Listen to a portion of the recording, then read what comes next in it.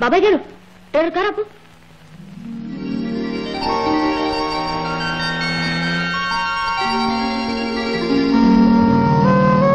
బాబాయ్ గారు నమస్కారం. నువ్వు నేనే బాబాయ్ గారు. ఏమిటి మీరు ఇలా వచ్చారు? నేనా అమ్మా? చేసిన పాపాలకి ప్రాయచిత్తం చేసుకుందామని సుందరికి జరిగిన అన్యాయానికి గుట్టుగా పరిష్కారం చూసుకుందామని సీత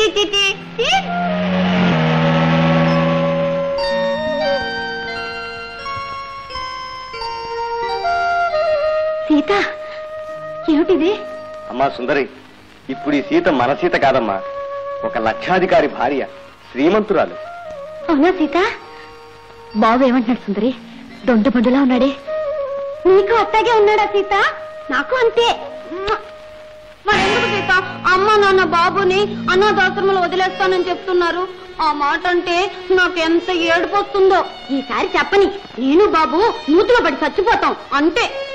సీత చూసావమ్మా ఆ భగవంతుడు మాకు ఎలాంటి కష్టాలు రాసి పెట్టాడు. సుందరి బ్రతుకు ఎలా బండలు చేశాడు. మీరేం బాధపడకండి పిన్ని. సుందరి బ్రతుకు బాగుపడుతుంది. త్వరలోనే మీ కష్టాలు గట్టెక్కుతాయి.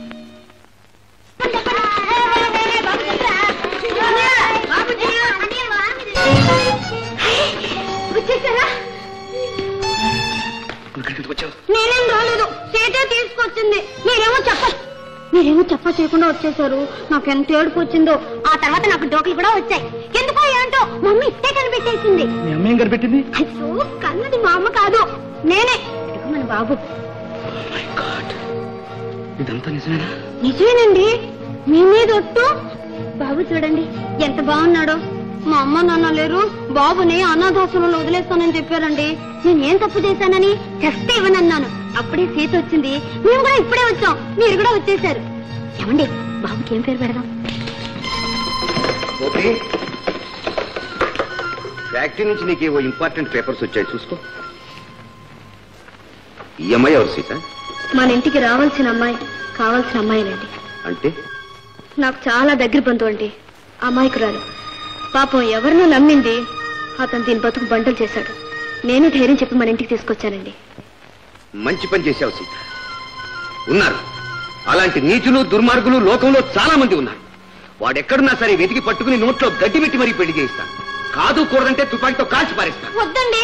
ఆయన కాల్ చేస్తే తర్వాత నాకు పెళ్ళెలా అవుతుంది? పిచ్చిదానా నీకేం భయం లేదమ్మా? నేనున్నానుగా. అతను ఎవరో ఎక్కడుంటాడో చెప్పు. ఎక్కడా? కాదండి. బాబుకి నీళ్ళు పోసేవాళ్ళైంది రా. రా. చూడండి ఇందాక మీకోసం ఫ్యాక్టరీ నుంచి ఫోన్ వచ్చింది. ఒకసారి కనుక్కోండి.